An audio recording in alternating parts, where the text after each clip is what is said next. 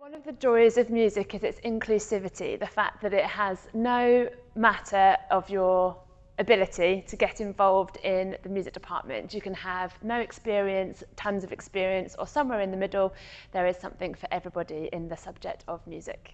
Music's a really important element of the curriculum, whatever your age, um, because it gives you an opportunity for creative outlets.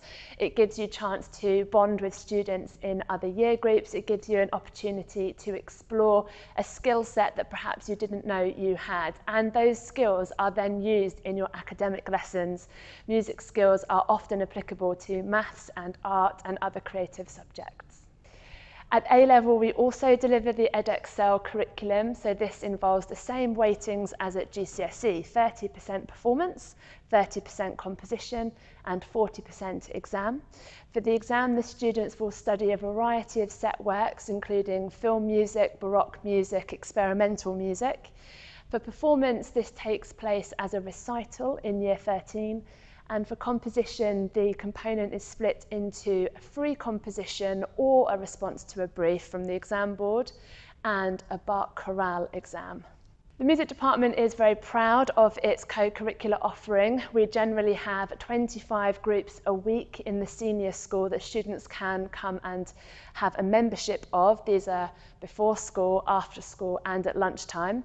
We also have two tiers of co-curricular groups. So groups that are inclusive, so you don't have to bring much experience, if any, and groups that are for our more elite musicians, which are perhaps like our auditioned choirs.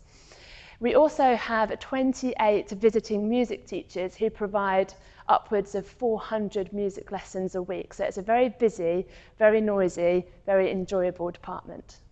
Our platforms include termly concerts, we also contribute to whole school events like Founders Day and the Carol services.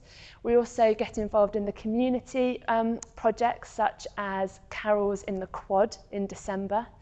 And we're also looking into taking the department abroad with a tour in the future.